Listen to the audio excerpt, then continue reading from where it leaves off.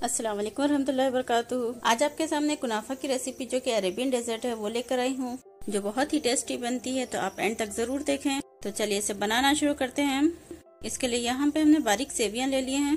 वैसे इसे बनाने के लिए स्पेशल डो आता है, लेकिन वो अरेबियन कंट्रीज़ में इजिली अवेलेबल है। यहाँ पे इजीली अवेलेबल नहीं है, इसीलिए मैं बारीक सेवियों से बना रही हूँ। टेस्ट में चेंज बिल्कुल नहीं होगा तो आप बेफिक्र होकर बनाएँ। तो इसके लिए यहाँ पे मैंने 350 ग्राम सेवियाँ ले ली है और 4 टेबलस्पून बटर ले लिया मेल्टेड अगर आप अनसॉल्टेड लेंगे तो ज़्यादा बेहतर होगा। अब हम इसमें वन टीस्पून कलर डाल देंगे रेड कलर ये ऑप्शनल है, आप डालना चाहे तो डालें, नहीं तो कोई बात नहीं। लेकिन इससे कुनाफा का कलर बहुत अच्छा आएगा। हम सेवियों को अच्छे दबाकर मिक्स करेंगे ताकि बटर अच्छे से मिक्स हो जाए। बहुत अच्छे से दबाना है, लेकिन बहुत ज़्यादा भी बारीक नहीं करना है हमें।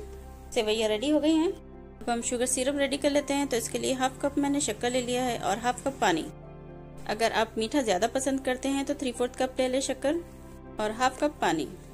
हम इसे शक्कर घुलने के बाद एक दो तीन मिनट तक पकाएँगे और उसे ज़्यादा नहीं पकाना है हमें। शक्कर अच्छे से घुल गई है। अब हम इसमें वन पिंच जाफरान डाल देंगे और इसी के साथ हम फ्लेम बंद कर देंगे। हाफ़ टी स्पून यहाँ पे मैंने वनीला एसेंस ऐड किया है। आप चाहे तो रोज वाटर डाल दे या केवड़ा डाल दे या जो भी खाने का एसेंस है वो डाल दे।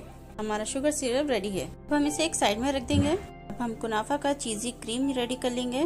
तो इसके लिए यहाँ पे मैंने वन कप दूध लिया है 250 फिफ्टी और वन फोर कप में हम यहाँ पे वन टेबल स्पून कॉर्नफ्लोर मिला लेंगे। इसे अच्छे से मिक्स कर लें ताकि कोई लम्स ना रहे इसमें। अब ये हम दूध में डाल देंगे।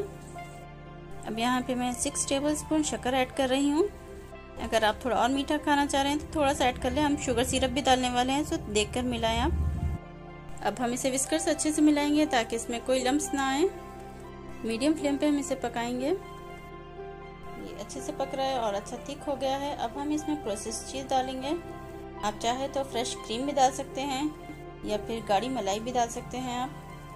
चाहे प्रोसेस क्रीम डालें या क्रीम डालें, इसे बहुत ही लो फ्लेम पे पकाएँ। हम इसे लो फ्लेम पर पका रहे हैं और बिल्कुल ये इसे घुलने तक हमें पकाना है। देखिए, सारी चीज़ अच्छे से मेल्ट हो चुके हैं और हमारा क्रीम भी बहुत अच्छा थिक हो गया है। इसका फ्लेम हम बंद कर देंगे। इसकी कंसिस्टेंसी का आप ख्याल रखें। देखिए, बिल्कुल ऐसी गाढ़ी होनी चाहिए। बहुत पतली नहीं होना चाहिए।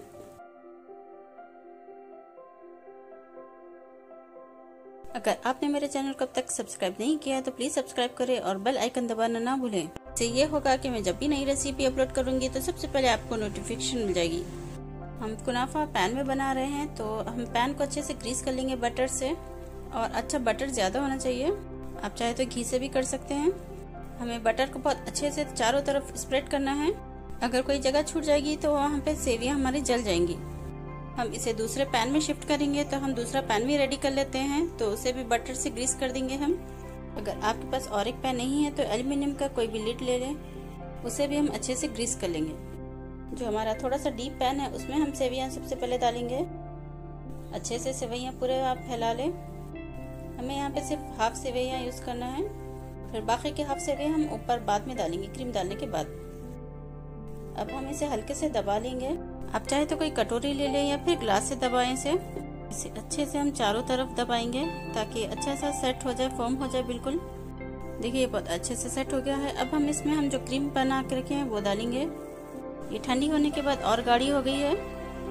हम क्रीम डालेंगे तो बिल्कुल कॉर्नर्स में नहीं डालना है हमें। वरना ये पैन को चिपक जाएगी, इसलिए हमें कॉर्नर्स में नहीं डालना है। क्रीम अच्छे से स्प्रेड हो चुका है। अब हम इसमें जो बाकी हमने सेवियाँ रखी थी, वो डालेंगे।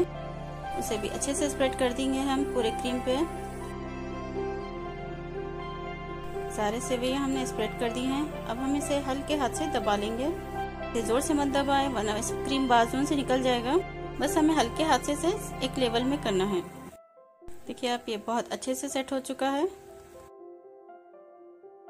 अब इसके कॉर्नर्स पर भी हम एक नाइफ से थोड़ा सा सेट कर देंगे ताकि ये स्प्रेड जो हुआ सो है, वो एक लेवल में आ जाए अच्छे से। ये बहुत ही डिलीशियस रेसिपी है तो आप लोग एक बार ज़रूर ट्राई करें इसे। और जब ये अच्छे से एक बार सेट हो जाएगा, तब हम इसे चूल्हे पर रख देंगे।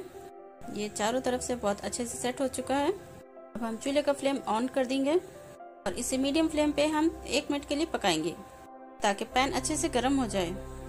इसके बाद इसे हटाकर हम कोई भी तवा, दम का तवा या जाली का आपके पास तवा है तो वो रख के फिर से इस पर पैन रख देंगे। और इसे भी एक मिनट के लिए हम फुल फ्लेम पे पकाएँगे ताकि हमारा तवा गर्म हो जाए। इसके बाद हम बिल्कुल लो फ्लेम पे पकाएँगे 10 मिनट के लिए। अगर आप इसे ओवन में बेक करना चाह रहे हैं तो 180 डिग्री पर आप पहले प्री हीट कर ले ओवन को, उसके बाद 20 मिनट्स 150 डिग्री पर बेक कर लें। 10 मिनट हो चुके हैं। अब हम जो ग्रीस लगा के और एक पैन रखे थे, उस पर पलट देंगे। एहतियात से पलटा लें। इसे भी हम वन मिनट के लिए फिर से एक बार फुल फ्लेम पे पका लेंगे, ताकि हमारा जो दूसरा तवा है वो भी अच्छे से गर्म हो जाए। उसके बाद फिर से हम लो फ्लेम पे 10 मिनट्स पकाएँगे। चलिए 10 मिनट्स हो गए हैं, हम इसे निकाल लेते हैं। अब हम इस पर शुगर सिरप जो हमने बना के रखी थी, वो स्प्रेड करेंगे। हमारा कुनाफा जब गर्म होगा, जब भी उस पर हम स्प्रेड करना है, ताकि इसे वही में अच्छे से ऑब्जॉर्व हो जाए। चारों तरफ़ आप इसे अच्छे से स्प्रेड कर लें। शुगर सिरप अच्छे से स्प्रेड कर लिया है चारों तरफ़ से। अब हम कुनाफा को थोड़ा सा गार्निश कर लेंगे। तो इसके लिए यहाँ पे मैंने पिस्ता को ग्राइंड कर लिया है। और इसका पाउडर हम इस पर स्प्रेड कर देंगे। आप कोई भी शेप में दे दें या फिर ये नहीं भी रहोगा तो कोई प्रॉब्लम नहीं। बगैर भी आप इसे सर्व कर सकते हैं। चलिए अब इसे कट कर कर देख लेते हैं अब जब इसे सर्व करें तो पैन में सही सर्व करें। अगर आप इसे दूसरे में शिफ्ट करेंगे तो ये टूटने का डर होगा या फिर बहुत ही एहतियात से इसे शिफ्ट करें। आप इसे कोई भी शेप में कट कर ले ट्रायंगल या स्क्वायर शेप में कट कर ले। देखिए, देखने में ही लग रहा है बहुत ही यमी और क्रीमी तो एक बार ज़रूर ट्राई करें आप। और देखा, आपने बनाना भी बहुत ही आसान है। तो आप भी खाएँ और बच्चों को और सभी को खिलाएँ। और अगर आपको मेरी रेसिपी पसंद आई है तो प्लीज़ इसे लाइक करें कमेंट करें शेयर करें अपने फ्रेंड्स और रिलेटिव्स में। और मेरे चैनल को सब्सक्राइब करना ना भूलें तो प्लीज़ सब्सक्राइब ज़रूर करें। थैंक यू फॉर वॉचिंग जजाकल्ला।